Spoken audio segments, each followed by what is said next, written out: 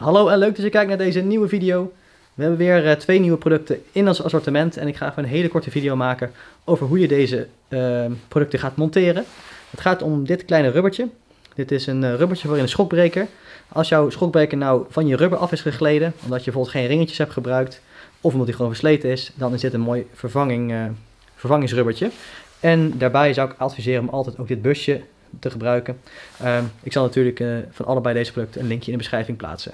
Ik heb al een schokbreker in de bankschroef staan. Dus ik ga jullie even laten zien uh, hoe dat we deze gaan monteren. Nou, zoals jullie zien heb ik hier zo het rubber al uitgehaald. Uh, dat is vrij makkelijk te doen, gewoon met een, uh, met een dop en een hamer. Gewoon zo'n soort dop en een hamer, eventueel met een verlengstukje. maar waarschijnlijk is die bij jou al eruit, want anders dan zou je dat rubber waarschijnlijk ook niet vervangen.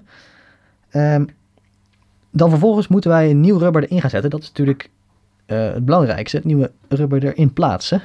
Daar gebruiken wij wat PTV-spray bij. Kan ook met multispray of iets anders. PTV-spray is wel het mooiste, denk ik. Ik zal ook even een linkje van in de beschrijving zetten. Het rubber spreekt zo lekker in. Ik spray ook zo hier zo de schokbreker mooi in. Dan doen we eerst het rubber erin. En dat zal niet altijd even makkelijk gaan. Nou, dat viel mee. En dan gaan we het busje erin doen. Dan probeer ik aan, uh, met mijn vinger de bus tegen te houden sorry, de bus, het rubber. Nou, dan zit hij eigenlijk meteen goed. Dus zo makkelijk kan het in principe gaan. Ik hoop dat jullie het een leuke video vonden. Als je het een leuke en nuttige video vond, doe even een duimpje omhoog. En uh, dan zie ik jullie graag bij de volgende video.